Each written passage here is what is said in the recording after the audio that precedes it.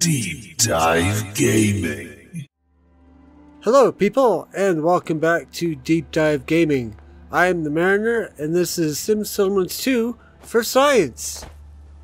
We are continuing our experiment with organic settlement growth and blending Fallout 4 main quest line with Sim Settlements 2 main quest line.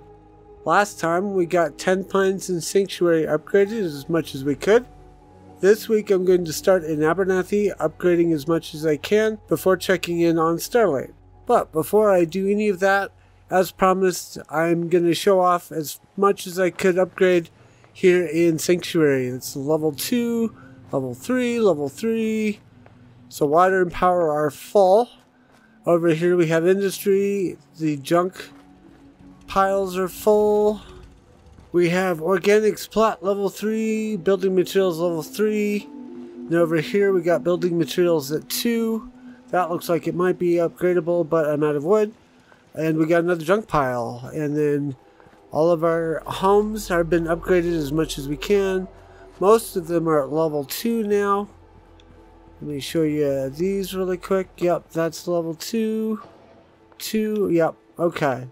Like I said, I got as far as I could with the amount of wood and the availability of upgrading for plots. This is 2. There's a 2. And then we've got... I'm not really doing worrying about this one because it'll go away as soon as Preston leaves. And then over here we've got a level 3 commerce, level 2 luck, and then we've got a level 2 caravan plot over here. And then we've got a level 3 agility plot. And a level 2 security here. And way in the distance, level 2 security there. Okay, so that's all covered. Let's head on over to Abernathy. Alrighty, here we are in Abernathy. I'm I gave it a couple of minutes for the script to catch up. So I think looking around we're probably okay. This electricity report is probably bogus. If I could find the thing, there we go. So we got maybe a happiness problem over here. I'm not entirely sure. But the first thing I want to do is check our needs report. If we don't have enough extra, then building some of these upgrades may be foolish. 37 produced 85 needed 30 so we got room there. Produced 65 needed 48 that seems a little tighter but we'll see if we can get around it. Power. 128 needed 55 I think we're okay there. And then defense I'm probably going to be fine with this one. Oh yeah. And then we'll do happiness really quick 71 trending towards 80. No penalties, but no bonuses either. Okay. I think we're free and clear. Uh, so the first thing I'm going to do is sleep to generate resources, and then we will get going. And we've got some people here. I will talk to them in a little while.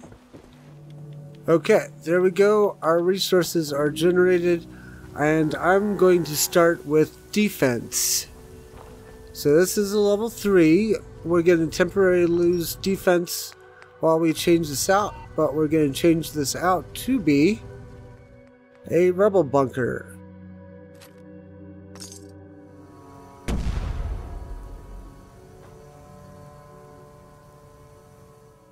Excellent.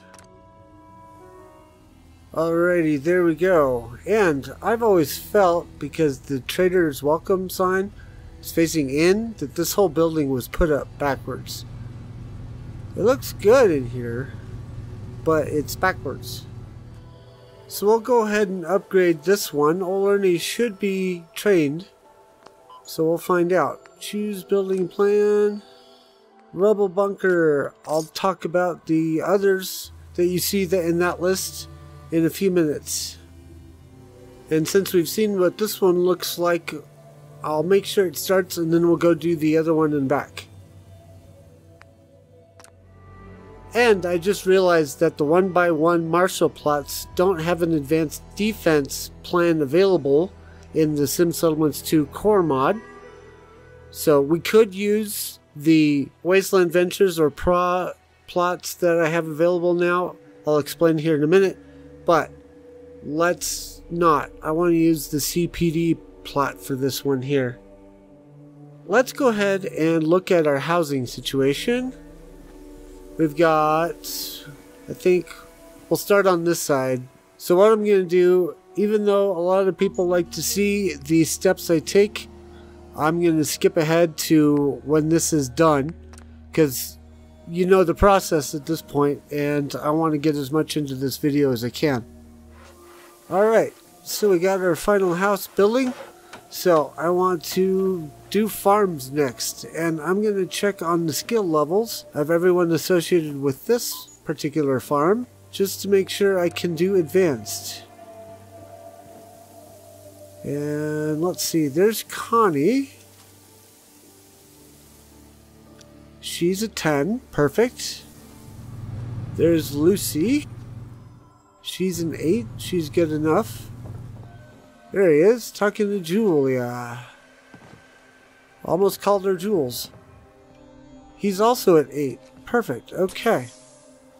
So you may have noticed when I had the security plot selection going that you saw PRA and you saw Wasteland Ventures plots.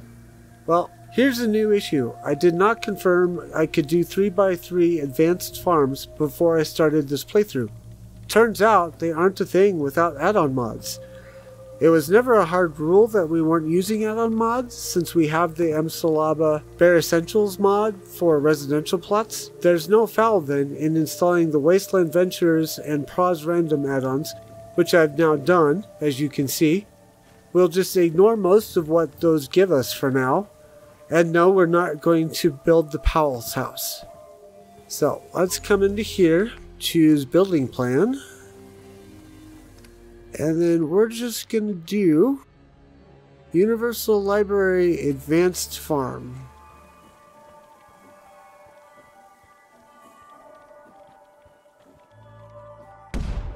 Not entirely sure why there's an explosion there for a farm, but still a good effect.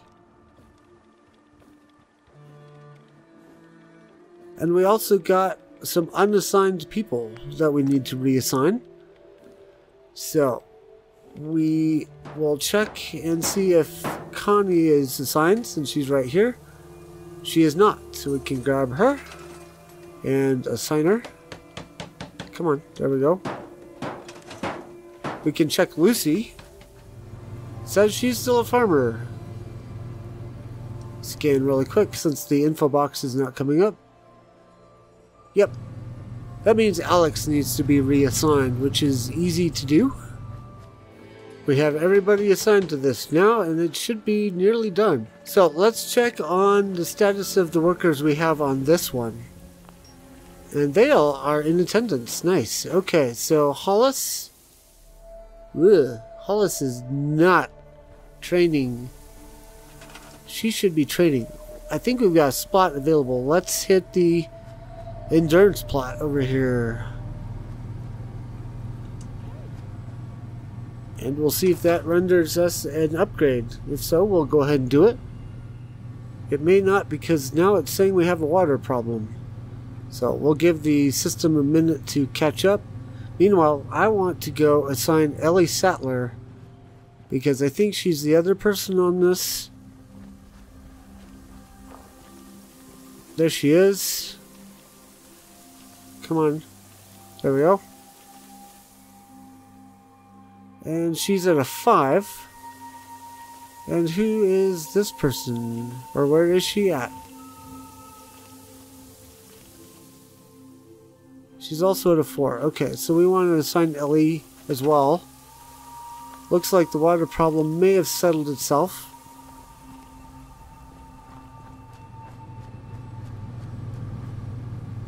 So we'll see if we get an upgrade when I do this assignment. And I'm going to make Ellie the owner. Yep, there it goes. And hey, we have cork. We have so much cork. Finally. Alright, so I'm going to check with Lucy. She's probably been unassigned. Yeah, hobby none. So I'm going to go ahead, move her over to the strength plot since there's no one here right now. We'll see if there's an upgrade for that as well. Doesn't look to be popping yet, so I'm going to grab another person and put them on this. We'll probably put one of the industrial guys on here.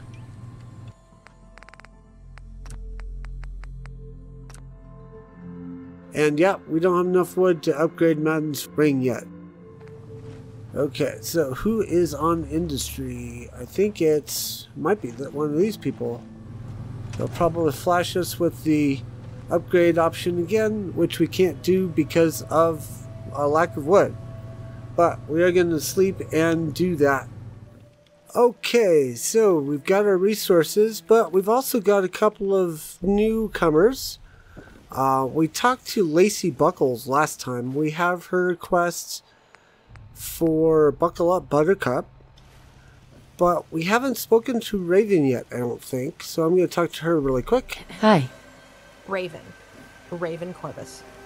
I need you to help me retrieve my drunk of a brother. What?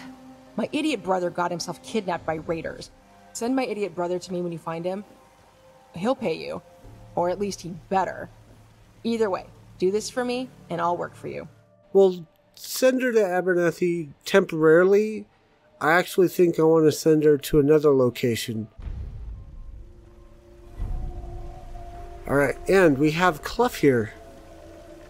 Hey there. Hey there, Whisper. I know your Geiger counter's in the shop, but think you could help me?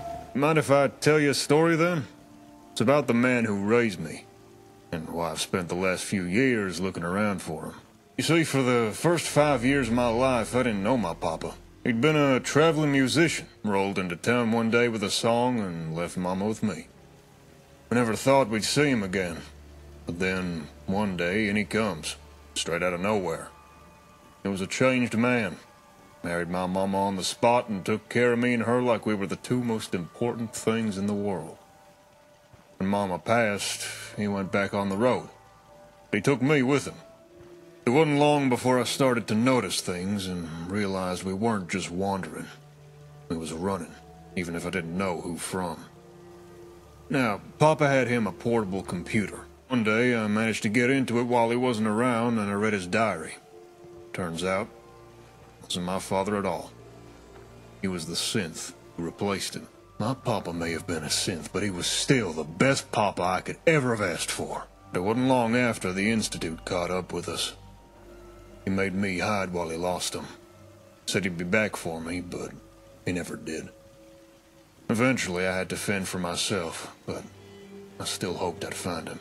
I've been with the railroad a long time, but never had any leads.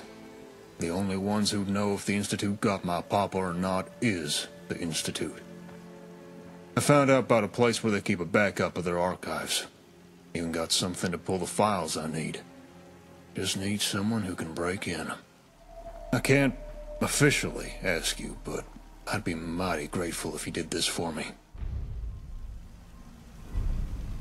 Papa was Rolling Stone. Okay, let's do a quick scan on him. Okay, he's got an 8 charisma, so he, like Lacey Buckles here, will be good for Starlight Drive. But we need to build up there a little bit before we can send anyone over. Let's finish upgrading Abernathy. Let's check Chelsea really quick.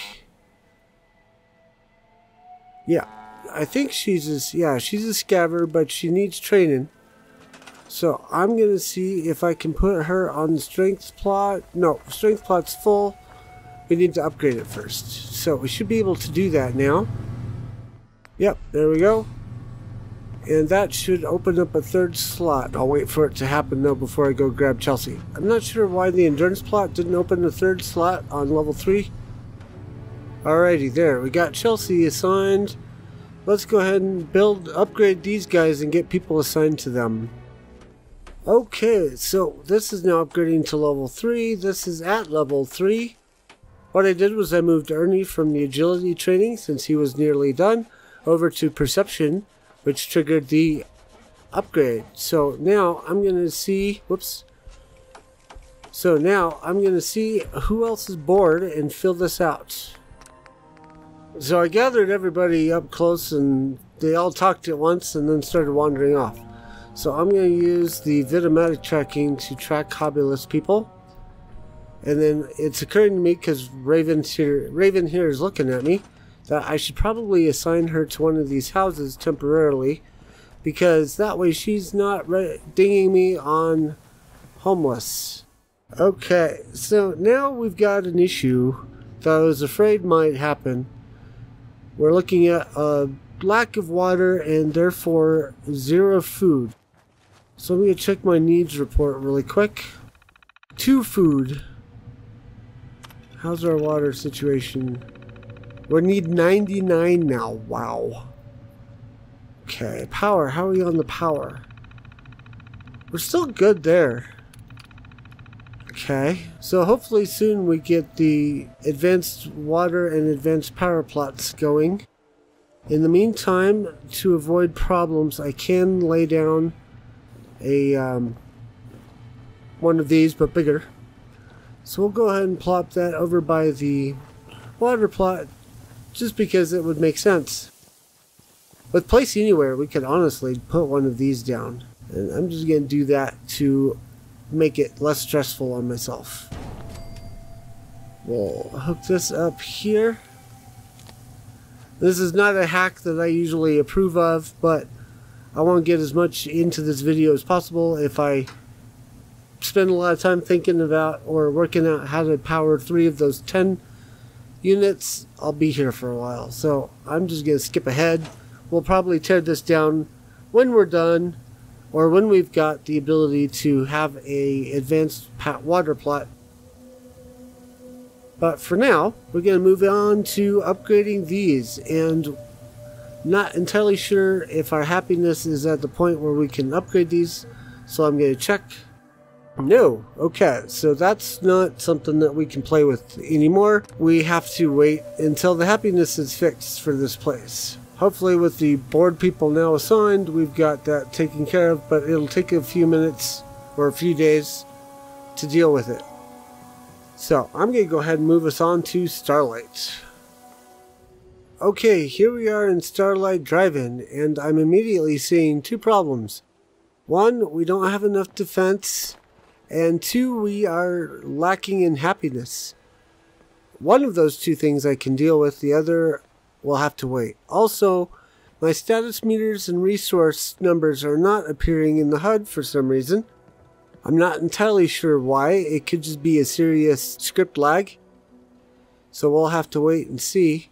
But Jason Martin is here, so I'm going to talk to him before I do anything else. Hey there. Hey, you're the one in charge here, right? I've been looking for you. Name's Jason Martin. I used to be a caravan guard running the Wasteland circuit. Heard from some friends that you had work available. I'll do any job you like, and keep an eye on things while I'm at it. What do you say? Alright, we're going to go ahead and hire him for Starlight Drive-In. Because, when we scan him, we see he's got a decent agility, which means he's perfect for defense. So I'm going to grab him. We have a defense plot available over here I'm going to go ahead and upgrade it to a rubble bunker so that uh, we can maybe work on our defense. And our meter fixed itself and the numbers have finally arrived, so that's good. But let's go ahead and do advanced plots where possible, right off the bat, when possible. Okay, while that's building, let's administer some cures here. And then we will talk to Joe. Actually, no, we won't talk to Joe. He's already hired, but he's actually better used as a commerce dude.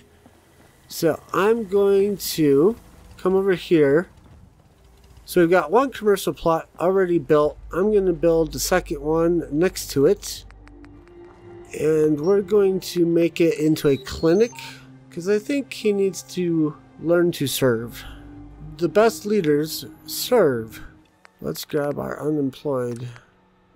Pay and build, obviously. That's not what we wanted. Oh, and we've also got this guy. So, he's standing around, not doing nothing. We will put him on the city planner's desk because we need someone on the city planner's desk. And it'll probably prompt us for a city plan, which we need to say no to. There's Joe. We will put him on this. If I have to. Yes, you have to. Alright, so that's going to get built here probably momentarily. There we go. Okay, so I think Joe has a house, but Jason does not. Now, I thought I had... No, I don't have a spare house. So, what I'm going to do is I'm going to come back here. And I'm going to build a house. And what we'll do is we'll build another raised shack. So that it's above this terrain here. Okay, and then we just need to assign Jason to it. We definitely have to have recreation plots. Because it looks like our happiness is on the rise, but it's going to take a little while, so we're going to need to help it. So I'm going to focus on actual happiness plots for right now. We're gonna go, we're gonna put one here. As close to the building as we can. Okay, that's one. We'll put another one here. And then we're just gonna grab our city leader. Assign him to one. Central Park, that's perfect. Okay. Then we'll grab Jason and we'll send him to the other one. Okay, so just a really quick review. We did a defense plot, we did a clinic, and we've done a couple of recreational. Happiness is a problem. We won't be able to do any upgrading until that's fixed. I probably messed up here not setting up recreation or training plots previously, but we can recover from it with time. Getting more people or building more stuff won't help with that so we'll wait. And since we're waiting, we'll go ahead and talk to Jake in Concord. And here we are in Concord, and what I'm going to do is carry us through the conversation with Jake, skipping the interruptions that you get during this conversation. They ain't very nice. They're called gunners. So if you see any, make sure you stay far away from them, alright? Ooh, working on something important? Oh, hey, darling. Uh, didn't hear you come in. I was just recording a message for someone. What are you hiding? Ah, this is awkward. I Was sort of hoping to keep this private. So, as I'm sure you already figured out, I'm not exactly local to these parts. I come from a settlement called Sanford. Life there was hard, but it was home. Anyway, that's where I grew up and became a young man. And where I met this young woman. One thing led to another, and... uh, Do you have a daughter? Yeah, that's right. I had a little girl. I named her Laura. And from the moment she was born, that kid became my world. So, years pass, and Laura grows up. However, me and her mom, Caitlin, we ended up drifting apart and separating. But I'd still see Laura all the time, though. And when she'd stay with her mom, we'd keep in touch through radio. So, one day I broadcasted our usual radio time to say goodnight. But there's no response. Naturally, I begin to panic a little, worrying if something bad might have happened to her. I arrive at Caitlin's house, gun in hand and ready for the worst. I open the door and there was no one there. At first I thought someone must have broken into the place, abducted Caitlin and my kid. But more I looked around, the more I realized everything was tidy. No signs of struggle. And then I noticed all their belongings were missing. I ran to Laura's room. All her toys, books, even her ham radio was gone. They hadn't been kidnapped. They just packed up and left, but there were no clues to where they'd gone. Well, there's no way in hell I was gonna let Caitlin just disappear with my daughter.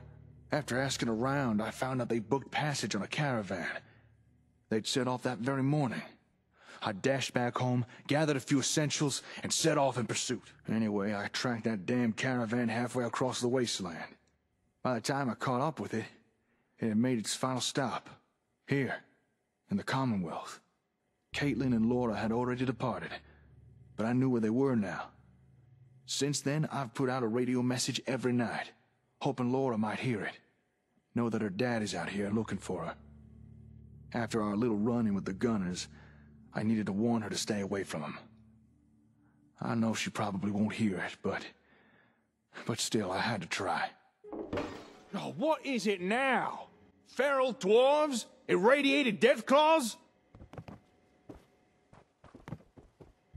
What? What's all this about death claws? Oh, old Paul!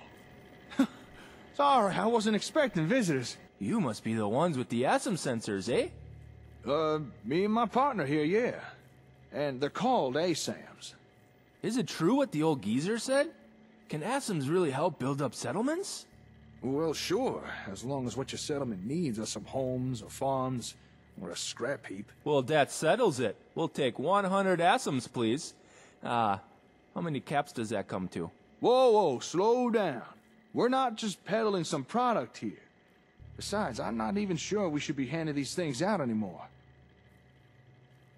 Hmm. What makes you say that? Hey, don't tell me you've already forgotten. That Aiden guy may have been a Brahmin's ass, but he did have a point. It's a fair bet that settlement got attacked because they used ASAMs. Who's to say the same thing wouldn't happen again? I'm just not sure it's right to give out sensors to random settlements no more. Not if it puts them in danger. If you're concerned about giving sensors out to strangers, why not have them join us instead? I've got no problem defending those we bring into the fold. Hey, we'd be happy to join with you. Right now we're kind of living rough, so whatever it takes to get some ASMs, eh? I'll get you up and running. Really? You'd have us? Oh, geez, thanks. I still think we may be asking for trouble. But I think you're right. We can't be scared to help folks. Okay, let's do this. Oh, you really don't know what this means to us. Thank you so much. no problem. Welcome to the family. Uh, sorry, what's your name? Hubert. I'll run ahead and tell the others. Meet you there, eh? I'll tag along with the youngin'. I'll get his people up to speed before you arrive. Let's get these folks up and running. And if the gunners do show up again, well, we'll just have to put them in their place, won't we?